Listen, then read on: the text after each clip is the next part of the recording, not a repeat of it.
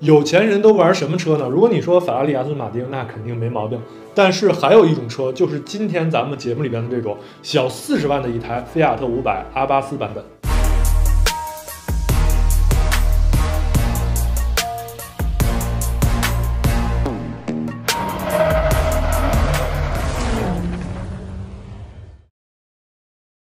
那么我们在看圈速之前呢，先给大家快速过一下这台车啊。这个车它有很多特别的地方。首先，这台车是今年正式以平行进口的方式在国内开始卖了。我们拿的这台呢是一台全新的车，直接从港口运过来的，只有二十七公里的里程。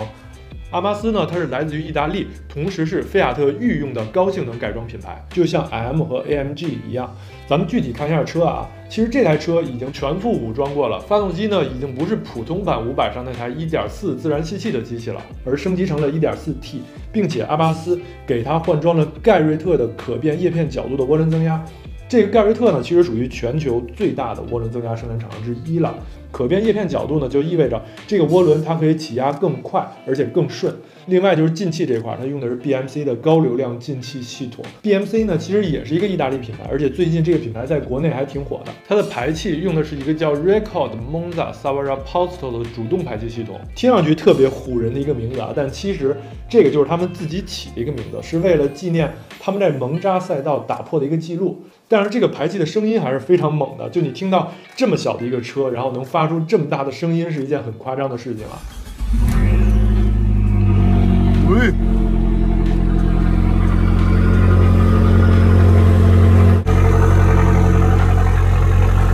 这个板都在震啊！这一套东西加上它的电脑，一共可以输出一百六十五马力和二百三十牛米的扭矩。然后操控部分呢，它用的是 Koni 的 FSD 的电调软硬的避震。Koni 这品牌其实是一个荷兰的避震器品牌。等有机会呢，再给大家慢慢讲这个牌子的避震器。轮胎它使用的是 P 零的 Narrow，这个型号相对来说有一点老旧了。就如果你拿同时期的米其林来相比的话，相当于大概是 PS 三那个时代的产品。最后呢，就是这台车它是在波兰生产，然后再拿到意大利去组装的。OK，了解完这台车所有的情况，我们现在就进入圈速环节。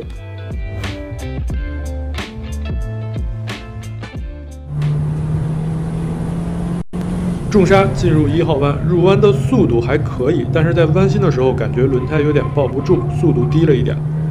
出弯换挡稍显顿挫，在直道的加速过程中看起来比较顺畅，提速也是比较快。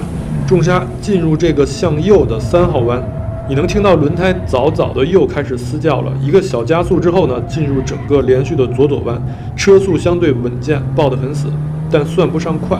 一个小直线到达黄网格之前，约翰收了一点点油门，调整了重心。出弯之后进入大直道，感觉转速后半程动力输出非常的持续，最终尾速一百三十二，和我们之前测试的宝马三三零一样。接下来的右转弯又暴露了前轮抓地不足的 bug，全力加速后选择中线进弯，这次控制了车速，完美的过弯。开油加速之后就是最后一个弯角了。在这个弯的平均速度也只达到了九十上下，全力冲线，最终用时一分零三点七零。这个成绩排在了思域和名爵 MG 六 Pro 之间，不知道是不是比大家想象的要慢了，反正我是这么觉得的。对于这个圈速的分析，咱们先来听听车手约翰是怎么说的。圈速还是一样，整体还是推头的那种感觉，是吗还是推头。然后就稳定系统会介入，你跟稳定系统配合的特别好，哦，就肯定会能快一点。咱你得找那个，对，你们俩之间的那个感觉，加速的那种质感，我觉得都挺好的，像一个小钢炮的感觉。但稳定系统这个如果能关掉的话，会更能快一秒多，我觉得起码。咱们来分析一下这个结果啊。首先从物理层面来讲，这台五百呢，其实。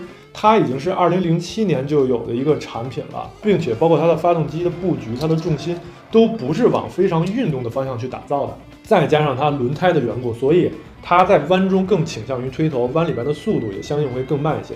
另外还有一点就是它的 AMT 变速箱，这个变速箱真的是换挡非常的慢，所以我会去联系我们平行进口商的朋友，我们再去借一台手动挡的车型过来。